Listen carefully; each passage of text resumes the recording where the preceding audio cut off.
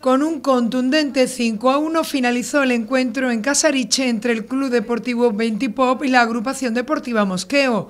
No tuvo opciones el equipo palaciego que vio como su rival se imponía desde muy temprano en el marcador. El gol del conjunto aurinegro lo consiguió de penalti Miguel Barea en el 75 de juego, aunque no sirvió de nada. El Mosqueo sigue en la undécima posición con 28 puntos. En segunda andaluza, la Liara Balompié no pudo conseguir la victoria en esta jornada que jugaba en casa ante su afición.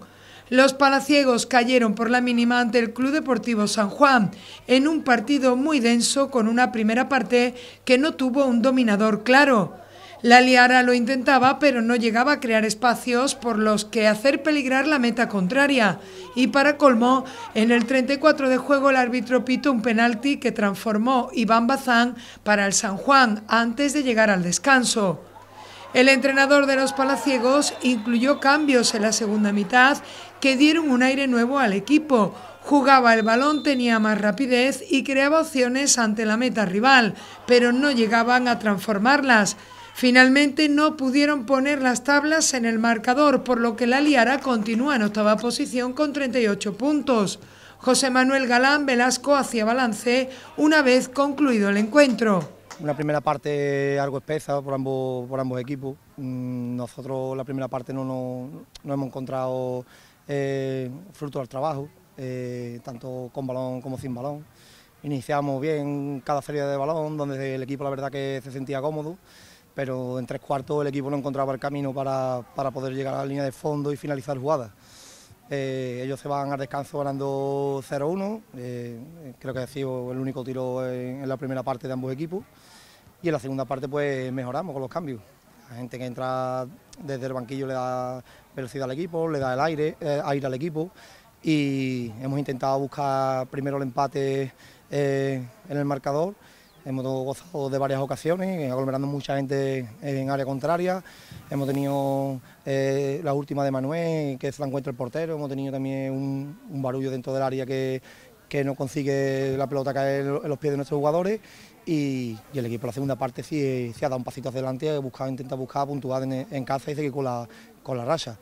Nos enfrentábamos a un rival complicado, que viene con buena dinámica, que está intentando salir de, abajo y han planteado un partido, la verdad, bastante competitivo y, han ganado, han ganado los tres puntos y tan solo darle la enhorabuena al San Juan y, no nos queda otra que seguir trabajando hasta, hasta la última jornada de liga.